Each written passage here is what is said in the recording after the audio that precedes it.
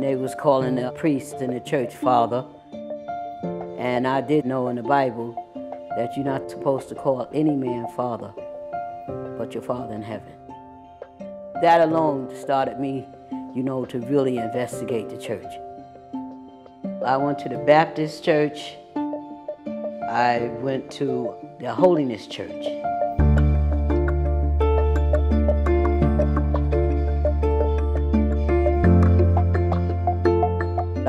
To stop searching. I wasn't going to stop having the faith that God will show me, and He did.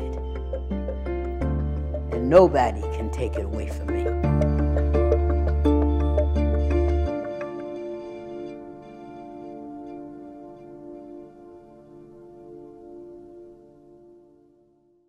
I'm Sandy Yady.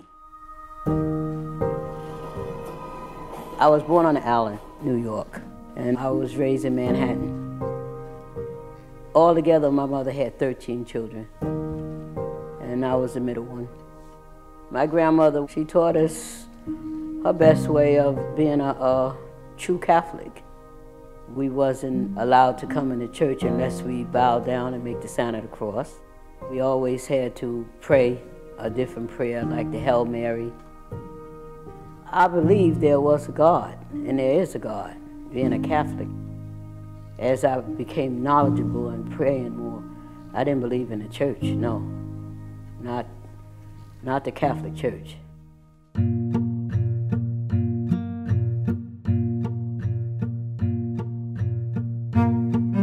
When I was older, a teenager, I started reading the Bible and praying a lot. And They was calling the priest in the church father.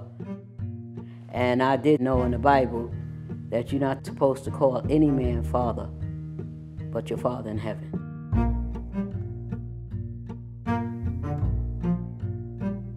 That alone started me, you know, to really investigate the church. It was a lot of things that was going on in there. In all the Catholic churches I went to, that just was not what is supposed to be in the Holy Bible. If they are teaching us, they should teach everything exactly from the Holy Bible and nothing else.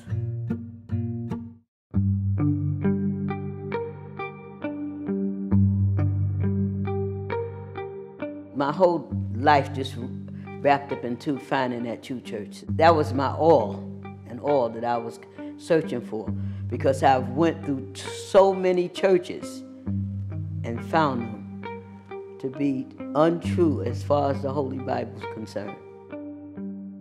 I went to the Holiness Church. I went to the Baptist Church. That was definitely not it. The Baptist Church, they read something from the Bible, but it's so short lived. And then they'll start talking about, oh, my wife did this, this one did that. What did I have anything to, to be spreading the word of God? You talking about your personal life. If you're a real minister and stuff, you would be preaching directly from the word of God, not adding your words to it. God said, don't add to nor subtract. Oh, the offerings, they come around three, four times. They don't do it one time. The pastor, he had the most expensive car. He was taking care of himself. He, he wasn't doing what he's supposed to do. But then again, how could he do what he's supposed to do? You can't preach unless you're sent.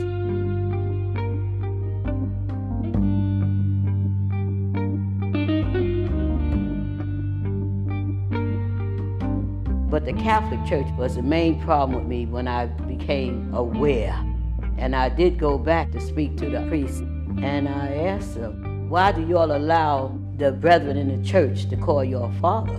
When God said, call no man father, but your father in heaven. I said, I have my Bible with me. You could read it yourself. And he said, get out. Just leave.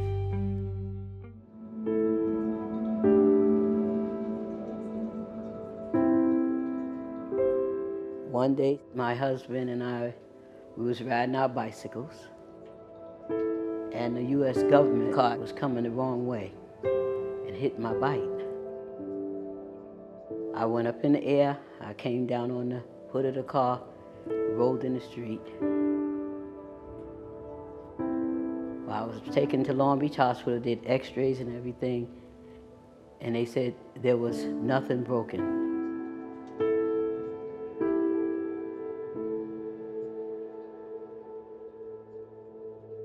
They told me that I can pick two doctors.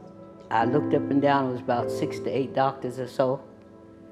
And I picked Dr. Alfredo Deos and Dr. Lito Ramos.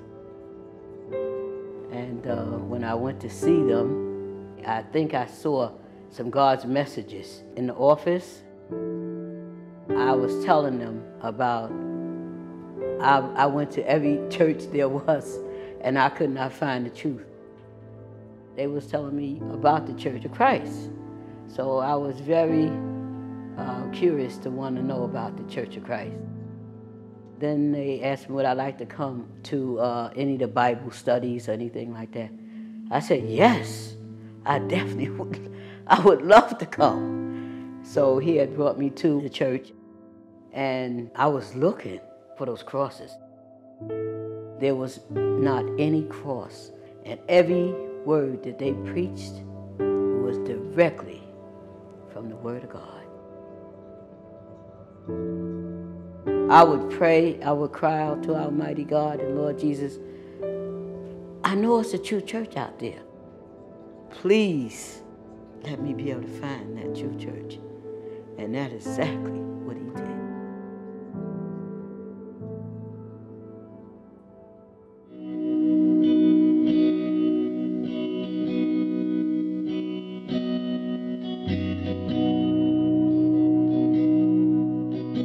when I uh, first uh, found out about the uh, True Church of Christ and bringing my family, you know, they didn't uh, give me no hard time about it.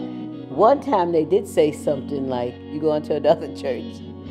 I said, yes, but this is the true church. Just come. Just come and listen and just be patient and you all will see. And that's exactly how it went down. Everything was on the up and up, and truth was being presented to my family and myself. When they opened up the Bible and was just teaching and preaching everything from the Bible and not making up their own words, that was my light. I know that uh, Jesus said, upon this rock I will, I will build my church. He didn't say churches. So I know it was one church. And then when they read the prophecy from the Holy Bible, it's right there, then I knew that the Church of Christ is a true church without any kind of doubt. And the truth is the only thing that's going to set us free.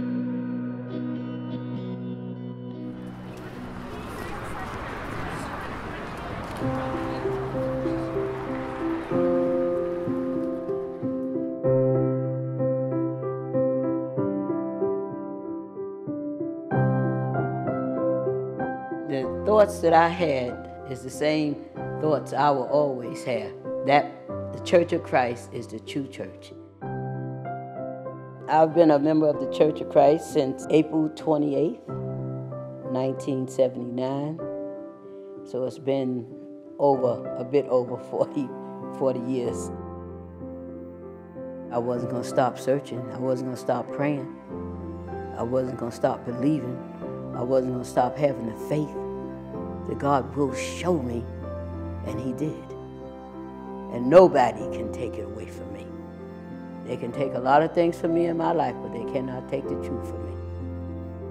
Regardless of what had came in my life, the different trials, the different tribulations, the illnesses, everything, He has truly blessed me and my family.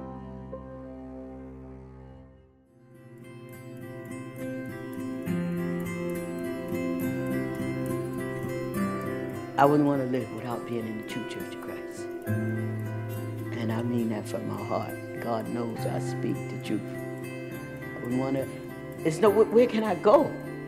Where can I take my family? There's no place on this earth. The world is it's in bad shape. It's so much sin and different things that's going on in this world. Very sad. That's the reason why we need to be in the true church of Christ. We need to renew our life. We need to pray harder. We need to be true followers of his beloved Son, Jesus Christ, our Lord and Savior. Because we are living in the last days. These are perilous times, and they're not going to get any better.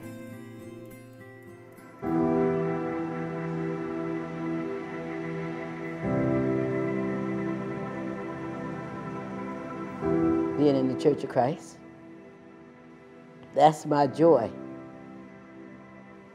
That's my main love. It's a blessed privilege to be able to sing from our hearts, minds, and souls to our Father in heaven and His Son, Jesus Christ. How long have you been in the choir now? It was a bit over a decade, say uh, 11 years. What do you love about being in the choir? Singing praises to Almighty God and His beloved Son, Jesus Christ. I want to do it until the end, the very end, because serving God and His beloved Son, Jesus Christ, is my life. And without being able to do that, I don't have any life.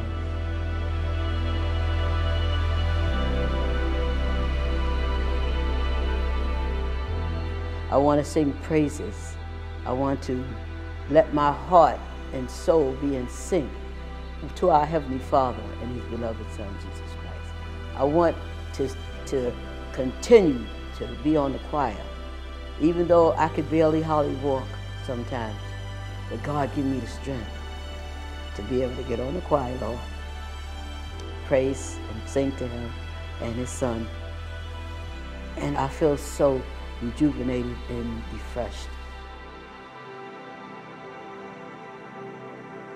Being in the Church of Christ, being in the true Church of Christ is just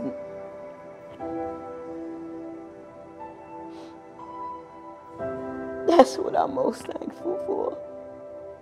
And may I take that with me to my grave.